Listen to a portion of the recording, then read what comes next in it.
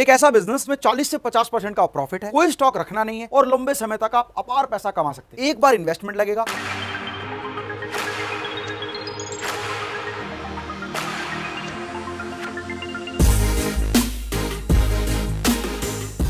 हाय friends मैं हूँ doctor Amit Maheshwari business trainer corporate trainer motivational speaker and CEO Metas Overseas Limited आप सभी का स्वागत करता हूँ आज की इन्फॉर्मेटिव वीडियो में।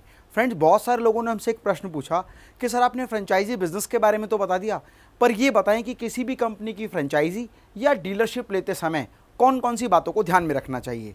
वैसे भी किसी बिज़नेस को स्टार्ट करने का सबसे बेहतरीन तरीका क्या है कि अगर आपको उस बिज़नेस में एक्सपीरियंस नहीं है नॉलेज नहीं है तो आप फ्रेंचाइजी के लिए या डीलरशिप के लिए उस कंपनी को कॉन्टैक्ट करें, उससे टाइप करें और बिज़नेस शुरू कर दें। पहले दिन से ही कंपनी की सफलता के भागीदार बन जाएँ। ये सबसे बेहतर तरीका है। लेकिन किसी भी कंपनी की डीलरशिप या फ्रेंचाइजी लेते समय ना, हमें बहुत सारी बातों को ध्यान में रखना ज़रूरी है। अगर इन बातों को हम ठीक से समझ लें तो हम ये निर्णय ले सकते हैं कि किस कंपनी की फ्रेंचाइजी या डीलरशिप किस इंडस्ट्री में लेनी चाहिए। तो चलिए इसी विषय पर हम बात करते हैं हाउ टू गेट फ्रेंचाइजी और डीलरशिप अब किसी भी कंपनी की फ्रेंचाइज या डीलरशिप लेते समय सबसे पहले आपको ये देखना है कि आप किस तरह की इंडस्ट्री में जाना चाहते हैं।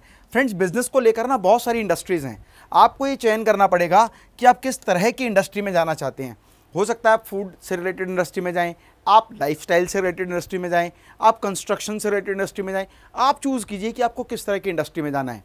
आज हर इंडस्ट्री में बहुत सारी सक्सेसफुल कंपनीज़ अपने सक्सेस के फार्मूले को फ्रेंचाइजी और डीलरशिप के माध्यम से शेयर कर रही हैं। तो पहला सिलेक्शन हो गया कि हम किस इंडस्ट्री में जाना चाहते हैं। दूसरा सिलेक्शन आपको करना है कि किस तरह के प्रोडक्ट्स में आप डील करना चाहते हैं, है ना? हर इंडस्ट्री में मल्टीपल प्रोडक्ट्स होते हैं। जैसे कंस्ट्रक्शन इंडस्ट्री की मैं बात करूँ तो कंस्ट्रक्शन इंडस्ट्री में आप इंटीरियर से रिलेटेड बिज़नेस कर सकते हैं, आप सीमेंट मैन्युफैक्चरिंग से रिलेटेड बिज़नेस कर सकते हैं सीमेंट ट्रेडिंग से रिलेटेड बिज़नेस कर सकते हैं, या आप और ऐसे बहुत सारे प्रोडक्ट्स हैं जिसमें आप डील कर सकते हैं। तो इंडस्ट्री और प्रोडक्ट पहले इसका सिलेक्शन करें। उसके बाद, आपने चूज़ कर लिया कि मुझे इस इंडस्ट्री में जाना है। मान लीजिए आपको लाइफस्टाइल इंडस्ट्री में जाना है, जिसमें आपका इंटीरियर हो गया वॉलपेपर हो गया वुडन फ्लोरिंग हो गया, या इलेक्ट्रॉनिक गैजेट्स हो गए इक्विपमेंट्स हो गए, या इंटीरियर से रिलेटेड बहुत सारी ऐसी इंडस्ट्री हैं जिसमें आप चल सकते हैं। जैसे आप सैनिटरी वेयर में जाना चाहते हैं तो इंडस्ट्री आपने सेलेक्ट कर ली प्रोडक्ट्स आपने अपनी चॉइस के सिलेक्ट कर लिए अब इंपॉर्टेंट है, हर इंडस्ट्री में और हर प्रोडक्ट में मल्टीपल कंपनीज़ हैं। उसके बाद सिलेक्शन है कि आप एक बेहतर कंपनी का चयन करें। क्योंकि कंपनी जितनी बेहतर होगी, उतना ही बेहतर उनका सपोर्ट सिस्टम होगा। उसके बाद आप ये देखें कि उस बिज़नेस को किस इन्वेस्टमेंट से आप शुरू करना चाहते हैं। क्योंकि फ्रेंड्स किसी भी बिज़नेस को शुरू करने के लिए ना, एक इनिशियल कैपिटल तो चाहिए ही चाहिए। साथ में वर्किंग कैपिटल भी चाहिए। और अगर आपके पास वर्किंग कैपिटल नहीं हुई तो कई बार बिज़नेस बंद होने की कगार पर रहता है। इसीलिए आपको पता होना चाहिए कि कितनी इन्वेस्टमेंट लगने वाली है। उस बिज़नेस की ऑपरेशनल कॉस्ट क्या है? उस बिज़नेस को अगर आप रन करते हैं तो पर मंथ कितना खर्चा आपका बैठ सकता है? जैसे मान लीजिए आप एक छोटी सी आउटलेट बना रहे हैं तो चालीस पचास हज़ार रुपये महीना खर्चा होगा। बड़ा शोरूम बना रहे हैं पाँच सात लाख रुपये महीना खर्चा होगा। और एक्सक्लूसिव शोरूम बना रहे हैं, पच्चीस से पचास लाख रुपये पर मंथ तक खर्च हो सकता है।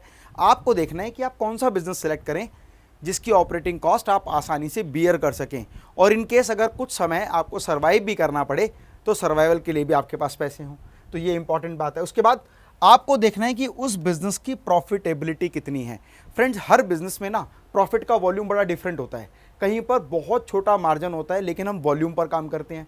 एक डेढ़ परसेंट दो ढाई परसेंट चार पाँच परसेंट कुछ बिजनेसेस में प्रॉफिट का रेशो बहुत बड़ा होता है, लेकिन प्रोडक्ट का प्राइस कम है। मान लो दस रुपये का प्रोडक्ट है और प्रॉफिट रेशो जो है वो थर्टी परसेंट है, तीन रुपये है। तो यहाँ पर बड़ा इंपॉर्टेंट है कि प्रोडक्ट का प्राइस टिकट क्या है? उसमें प्रॉफिटेबिलिटी कितनी है? नेक्स्ट फ्यूचर ग्रोथ पॉसिबिलिटी क्या है? फ्रेंड्स हर बिज़नेस की ना ग्रोथ पॉसिबिलिटी है। बहुत सारे बिजनेसेस अपने पीक पर चल रहे हैं और भविष्य में उनमें डिमांड जो है वो कम होती चली जाएगी। जैसे डीजल बेस्ड इंजन जो हैं, वो आने वाले समय पर ऑप्सुलेट हो जाएँगे आउट ऑफ़ मार्केट हो जाएँगे। तो ईवी इलेक्ट्रॉनिक व्हीकल्स जो हैं, उसकी डिमांड बढ़ने वाली है। तो मैं एक एग्ज़ाम्पल के रूप में आपको बता रहा हूँ कि फ्यूचर ग्रोथ पॉसिबिलिटीज़ क्या हैं।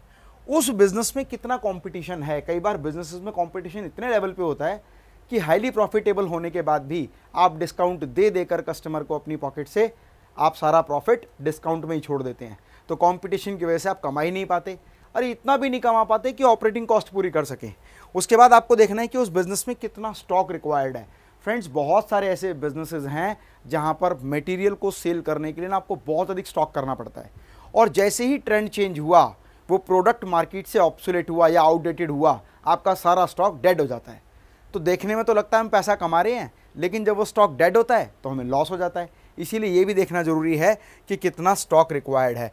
पेमेंट टर्म्स क्या हैं? जिस प्रोडक्ट में आप डील कर रहे हैं, वहाँ पर कस्टमर के साथ या बायर के साथ आपकी पेमेंट टर्म्स एंड कंडीशंस क्या हैं?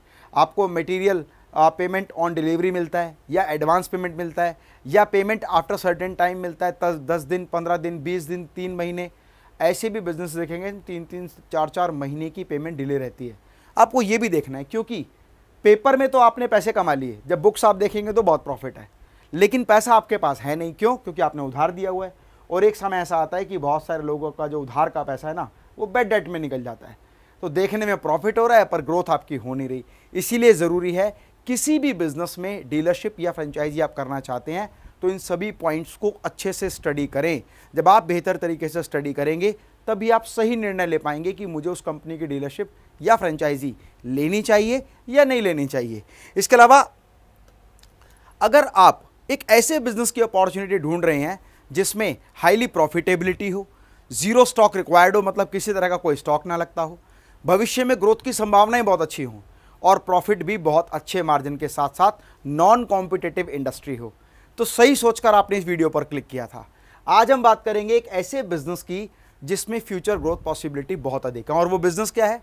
मेटास ओवरसीज लिमिटेड कंपनी का ब्रांड मेटास लाइफस्टाइल जिसमें हम लोग मैन्युफैक्चर करते हैं स्टेनलेस स्टील से बने modular kitchen bathroom vanity wardrobes and steel interior अब लोग स्टील का बिज़नेस क्यों करना चाहते हैं? नंबर वन आने वाले समय में पेड़ों की कमी होती जाएगी। जिसकी वजह से लकड़ी भी आसानी से उपलब्ध नहीं होगी।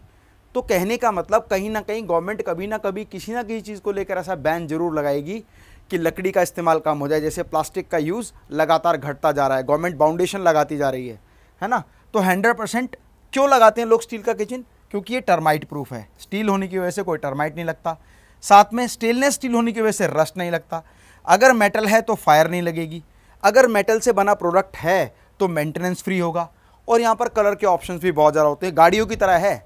जैसे गाड़ी में अगर ज़रा सा डेंट हुआ, आपने रीपेंट करा दिया। आपका मन भर गया उस कलर से, आपने कलर चेंज करा दिया। ठीक उस तरह से पाँच हज़ार से ज़्यादा कलर ऑप्शन हैं। इको फ्रेंडली है। मतलब स्टेनलेस स्टील बनाने के लिए पेड़ नहीं काटे जाते। तो कहीं ना कहीं पर्यावरण की सुरक्षा के लिए भी हम काम कर रहे होते हैं। Next premium and standard quality का इस्तेमाल किया जाता है स्टेनलेस स्टील का, जिसकी वजह से आपका product life time and durable बनता है। और जब ड्यूरेबल प्रोडक्ट होता है तो कंज्यूमर ऐसे प्रोडक्ट को लेना चाहता है जहाँ वैल्यू फॉर मनी हो। अब मेन बात जो है कि आप अगर स्टेनलेस स्टील मॉडुलर किचन की फ्रेंचाइजी या डीलरशिप लेते हैं तो वन टाइम इन्वेस्टमेंट है। एक बार पैसा लगेगा और दोबारा आपको इन्वेस्ट करने की ज़रूरत नहीं है। नो स्टॉक रिक्वायर्ड या ज़ीरो स्टॉक क्योंकि मॉड्यूलर किचन का जो बिज़नेस है या इंटीरियर से रिलेटेड जो बिज़नेस है, वहाँ पर सारा का सारा मटेरियल मेक टू ऑर्डर होता है। मतलब क्लाइंट ने अपना डिज़ाइन बनवाया और उस डिज़ाइन के आधार पर मटेरियल बनाया जाएगा। इसका मतलब आपके पास कोई रेडी स्टॉक नहीं है। तो इसका मतलब स्टॉक में आपका किसी तरह का कोई इन्वेस्टमेंट नहीं लग रहा है। हंड्रेड परसेंट एडवांस मनी ये जो बिज़नेस है ना इंटीरियर का stainless steel modular kitchen bathroom vanity wardrobe इसमें हंड्रेड परसेंट एडवांस मनी होती है। और वो कैसे होती है? जब क्लाइंट अपनी डिज़ाइन कराएगा तो fifty percent payment on order देगा। और जब मटेरियल डिस्पैच होने वाला होगा मतलब भेजने से पहले before dispatch balance 50 percent payment देगा और मटेरियल डिस्पैच हो जाएगा। मतलब 100 परसेंट आपको एडवांस पेमेंट मिलने वाली है। हाईली प्रॉफिटेबल बिज़नेस है। क्यों? क्योंकि मेक टू ऑर्डर वाले जितने भी बिजनेसेस होते हैं, वो हाईली प्रॉफिटेबल होते हैं। और दूसरा स्टील इंडस्ट्री एक तरह से नई इंडस्ट्री है। भविष्य में ग्रोथ की संभावनाएँ बहुत अधिक हैं। लो कंपटीशन है, इसलिए हाईली प्रॉफिटेबल है। तो हाईली प्रॉफिटेबल इंडस्ट्री है। वेरी लेस कंपटीशन क्योंकि इस तरह के बिज़नेस के सेटअप को लगाने के लिए ना बहुत मोटा इन्वेस्टमेंट लगता है। इसीलिए स्मॉल स्केल बिज़नेस ओनर है या स्मॉल स्केल इंडस्ट्री का मालिक है, वो तुरंत इस इंडस्ट्री में घुस नहीं पाता है क्योंकि कैपिटल का बैरियर लगा हुआ है। ज़्यादा कैपिटल लगने की वजह से लोग इसमें एंटर नहीं करते, इसलिए लो कॉम्पिटिशन है।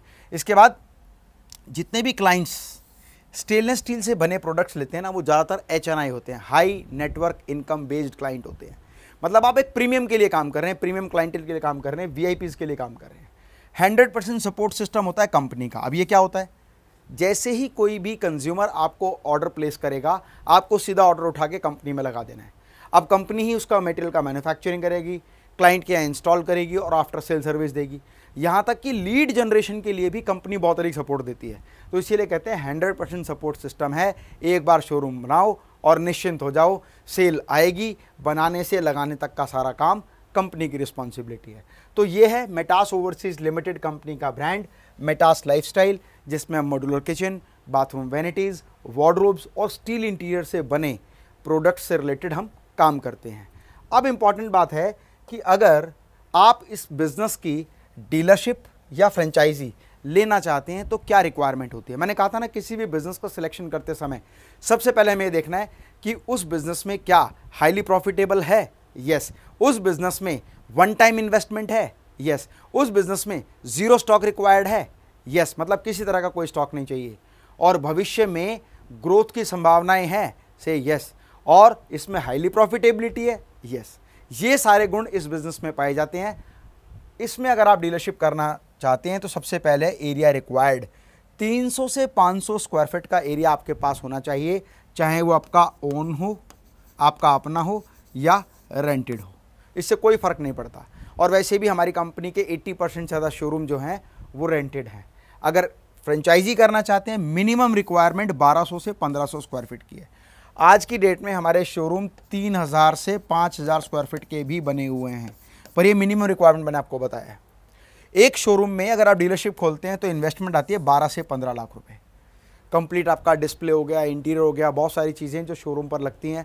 आप मेटास ओवरसीज़ लिमिटेड के यूट्यूब चैनल पर जाकर बहुत सारे शोरूम के वीडियोस देख सकते हैं प्रोडक्ट्स के वीडियो देख सकते हैं मैन्युफैक्चरिंग सेटअप के वीडियोस देख सकते हैं, आपको सारी इन्फॉर्मेशन मिल जाएगी। फिर अगर आप एक्सक्लूसिव फ्रेंचाइजी शोरूम बना रहे हैं, पैंतीस से चालीस लाख रुपये आज के टाइम पर हमारे शोरूम सत्तर लाख रुपये से वन सी आर एक करोड़ रुपये तक की इन्वेस्टमेंट के शोरूम भी बने हुए हैं। पर मैं आपको बेसिक रिक्वायरमेंट बता रहा हूँ, अगर आप फ्रेंचाइजी करते हैं, पैंतीस से चालीस लाख का इन्वेस्टमेंट है। और मैंने कहा था ना कि ये बिज़नेस हाईली प्रॉफिटेबल बिज़नेस है तो यहाँ पर जो आपको प्रॉफिट मिलता है, वो 40 से 45 परसेंट का मार्जिन मिलता है। अगर आप डीलरशिप करते हैं और एक्सक्लूसिव फ्रेंचाइजी करते हैं तो 45 से 50 परसेंट का मार्जिन मिलता है। इसका मतलब ये एक ऐसी इंडस्ट्री है जो हाईली प्रॉफिटेबल है।